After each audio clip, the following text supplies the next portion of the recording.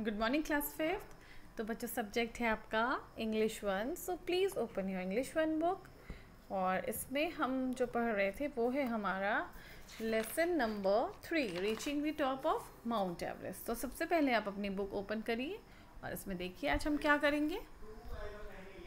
Lesson number three हमने पढ़ा page number twenty eight reaching the top of Mount Everest इसमें आज हम करने जा रहे हैं सी पार्ट जो कि है right T for true, F for false, right true और फॉल्स। ठीक है? तो देखिए, बुक ओपन करिए, ध्यान से सुनिए।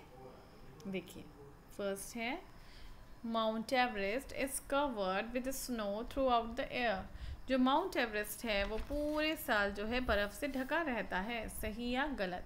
सही है तो ट्रू गलत है तो false second Norgay Tenzing made his living as a beekeeper जो नॉर्गे तेंजिंग थे वो अपनी जो आजीविका थी वो जो अपना जीवन था वो किससे चलाते थे? बी कीपर थे वो एक। एज अ बी कीपर वो थे मतलब। जो क्या करते हैं किसका आ, किसको पालते हैं? बी कीप करना मतलब मधुमक्खियों को पालने का काम। थर्ड है Hillary was better in climbing mountains than Norgay Hillary वो जो थे, वो नॉर्गे से ज़्यादा अच्छे क्लाइंबर थे। माउंटेन में, चढ़ने में वो ज़्यादा परफेक्ट थे। सही है तो ट्रू गलत है तो फॉल्स फोर्थ है both Hillary and Norgay came together to be a part of the British Everest expedition in 1953 Hillary और नॉर्गे जो थे, वो एक साथ उन्होंने ब्रिटिश एवरेस्ट एक्सपीडिशन को क्या किया था? एक साथ उसमें वो आए थे 1953 में। सही या गलत? सही है तो ट्रू गलत है तो फॉल्स फिफ्थ है the return journey is easy and safe जो उनकी रिटर्न जर्नी थी, वापस आने वाली जो उनका सफ़र था, वो ईजी था और सेफ़ था. सही है तो ट्रू गलत है तो फॉल्स ठीक है? लास्ट है six number Tenzing climb Everest many times Tenzing ने बहुत बार एवरेस्ट को क्या किया? चढ़ाई चढ़ी. बहुत बार उन्होंने उस पर क्लाइम किया. सही है तो ट्रू गलत है तो फॉल्स ठीक है?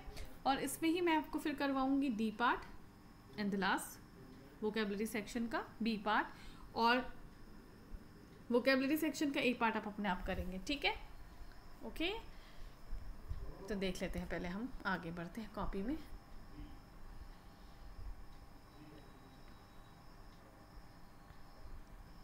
तो देखिए इसे। क्लास फिफ्थ है सब्जेक्ट है आपका साइंस डेट है fourteen July two thousand and twenty one lesson number three है reaching the top of Mount Everest ठीक है? सी पार्ट हम कर रहे हैं ट्रू और फॉल्स तो देखिए फ़र्स्ट है Mount Everest is covered with snow throughout the Mount Everest हमेशा जो है, पूरे साल, बारह महीने जो है, बर्फ़ से ढका रहता है। सही या गलत? ट्रू यहाँ पे लिखेंगे ट्रू सेकंड है Norgay Tenzing made his living as a beekeeper Norgay Tenzing जो थे, वो एज अ बी कीपर उन्होंने अपनी जो जीवन था, वो उनका चलता था। सही या गलत? तो ये फॉल्स है। ठीक है? थर्ड है Hillary was better in climbing mountains than Norgay Hillary was better Hillary ज़्यादा अच्छे क्लाइंबर थे माउंटेन में चढ़ने के लिए, अगर कंपेयर करें नॉर्गे से। तो सही या गलत? तो ये गलत है। फॉल्स लिखेंगे। फोर्थ है। Both Hillary and Norgay came together Hillary और नॉर्गे जो थे एक साथ आए टू बी अ पार्ट एक भाग लेने के लिए ब्रिटिश एवरेस्ट एक्सपीडिशन में 1953 में। सही या गलत तो ये बिल्कुल सही है, इसमें हम ट्रू लिखेंगे। आगे बढ़ते हैं। फिफ्थ है the return journey is easy and safe जो उनकी रिटर्न जर्नी थी, वापस की जो उनकी जर्नी थी, जो सफ़र था, वो सरल था और सेफ़ था। सही या गलत तो ये बिल्कुल गलत है। यहाँ पे हम फॉल्स लिखेंगे। जैसा चढ़ने के लिए सफ़र था, वैसे ही उनका डेंजरस सफ़र वापस आने का भी था। तो यहाँ पे फॉल्स लिखेंगे। Six number Tenzing climb Everest many times Tenzing ने बहुत बार एवरेस्ट पे क्या किया? क्लाइंब किया, चढ़ाई करी। सही या गलत? तो ये गलत है। इस पर हम लिखेंगे फॉल्स ठीक है? इसी में मैं आपको डी पार्ट करवा रही हूँ। Using a dictionary find out the meanings of कुछ वर्ड्स दिए हैं जिनके मीनिंग हमने ढूँढने हैं। कुछ शब्द दिए हैं, उनके अर्थ हमने लिखने हैं, ठीक है? तो फ़र्स्ट देख लेते हैं इसमें क्या है। फ़र्स्ट है कॉन्क्योर कॉन्क्योर मतलब किसी चीज़ पे जीत हासिल करना तो यहाँ पे हम लिख देते हैं जीत। सेकंड देखिए नोमैड नोमैड्स नोमैड्स किन्हें कहा जाता है? कौन लोग होते हैं नोमैड्स नोमैड्स होते हैं वो लोग जो एक जगह पर सेटल नहीं होते हैं, जो एक जगह पर नहीं रहते हैं। एक जगह से दूसरी जगह चलते रहते हैं चेंज करते रहते हैं अपने रहने का ठिकाना। तो उन्हें कहा जाता है नोमैड्स और हिंदी में बोलते हैं बंजारे। ठीक है? बंजारे कैसा जीवन जीते हैं? कभी यहाँ रहते हैं, कभी किसी और जगह चले जाते हैं। तो नोमैड्स हो गए बंजारे। थर्ड है summit S U M M I T summit summit बोला जाता है शिखर सम्मेलन को। ठीक है? फोर्थ है थ्रिल्ड थ्रिल मतलब रोमांच। किसी चीज़ के लिए थ्रिल होना मतलब कि जैसे कि आपने देखा हिलेरी और तेंजिंग क्या थे? क्या थे वो? बहुत ज़्यादा थ्रिल थे क्योंकि वो क्या करना चाहते थे? वो माउंट एवरेस्ट पे जीत हासिल करना चाहते थे तो वो लोग बहुत ज़्यादा थ्रिल थे, उनको बहुत उस चीज़ के लिए बहुत ज़्यादा रोमांच था, ठीक है? फिफ्थ है स्नो कैप्ड स्नो कैप मतलब बर्फ़ से ढका हुआ तो बर्फ़ से ढकी हुई चोटियाँ या फिर एक वर्ड बोला जाता है हिमच्छादित मतलब हिम मतलब बर्फ़ बर्फ़ से पूरा घिरा हुआ, ढका हुआ। तो स्नो कैप मतलब हो गया बर्फ़ से ढकी चोटियाँ okay then we come to B part fill in the blanks with vowels अगर आपको पता है वॉवल्स किसे कहा जाता है? तो वॉवल्स होते हैं जैसे आपके five vowels A E I O U तो हमें कुछ फिल इन द ब्लैंक्स दिए हैं जहाँ पे कुछ वर्ड्स छूटे हुए हैं तो हमें उनको कंप्लीट करना है। तो आप देख सकते हैं, मैंने कुछ वर्ड्स के नीचे से क्या किया हुआ है? अंडरलाइन किया है। तो वो वर्ड यहाँ पे छूटे हुए हैं, हमने उनको फिल किया है।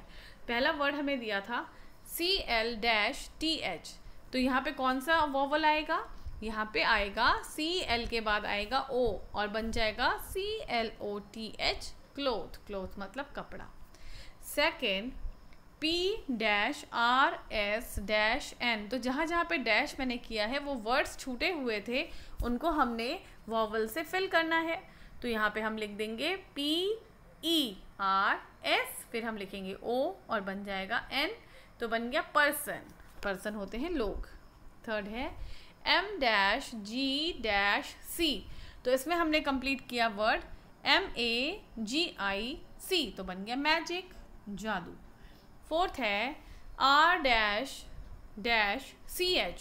तो यहाँ पे हमने वॉवल लिखा ई e और ए तो बन गया reach R E A C H reach fifth है S P dash C dash dash L तो हमने वर्ड लिखा एस पी ई लिखा सी हमें दिया था आई और ए हमने लिखा एल हमें दिया था तो बन गया स्पेशल सिक्स है C dash R R Y तो यहाँ पे हम लिख देंगे वॉवल ए तो बन जाएगा carry C A R R Y carry seventh है C dash N Q dash dash R तो यहाँ पे हम एक वर्ड लिखेंगे सी के बाद ओ लिखेंगे एन क्यू क्यू के बाद हम यू और ई e लिखेंगे और आर हमें दिया है तो बन गया कौन कॉन्क्योर एट्थ है J dash dash R N dash Y तो यहाँ पे हम लिख देंगे जे ओ यू लिख देंगे, आर एन और ई e लिखेंगे, वाई तो बन जाएगा जर्नी, ठीक है?